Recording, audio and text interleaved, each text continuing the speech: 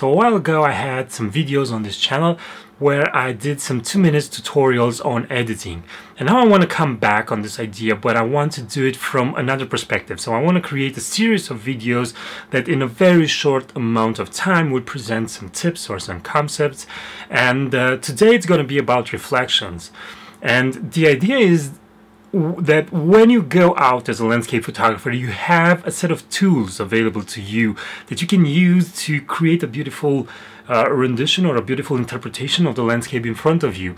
And these tools are basically technical tools and artistic tools. The technical tools are your camera, your ND gradiated filters, ND filters, polarizers, lens, wide, tele, okay? This is the technical side.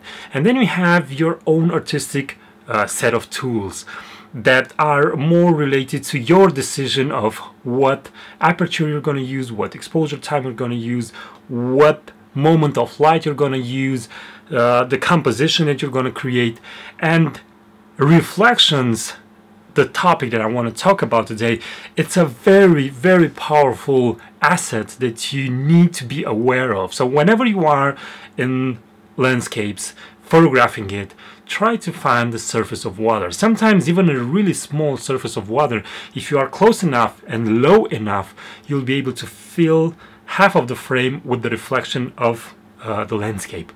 Now, as a technical side, reflections are two to three stops darker than the actual landscape that is being reflected. That is why I suggest you to use an integrated filter of two stops or maybe three stops to compensate for that.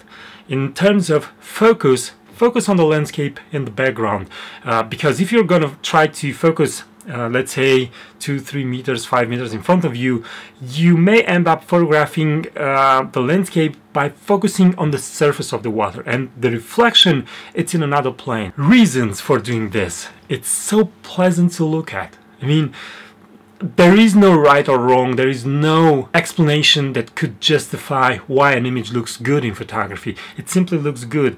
But uh, when we are talking about reflections, I think it adds mystery.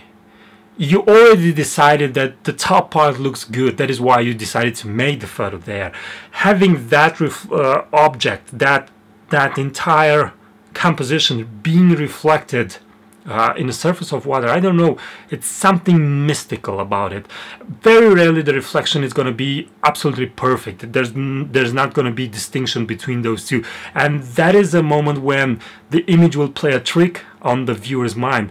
But even when the reflection is not perfect and it's a distorted version of the landscape above, even in that moment we we as human we are not used to see nature like this. Even even though we are near a surface of water we are going to see the, the, the edges. We're going to be completely aware that that surface of water it's it's not going endlessly. It stops.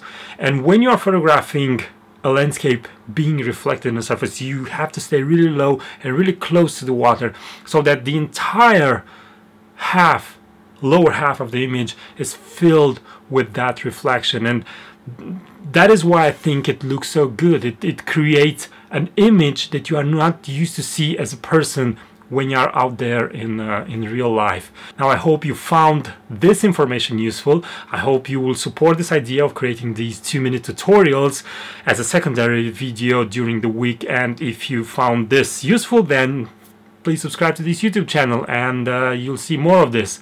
Until next time, keep on photographing because it's the only way that you can get better. Bye bye.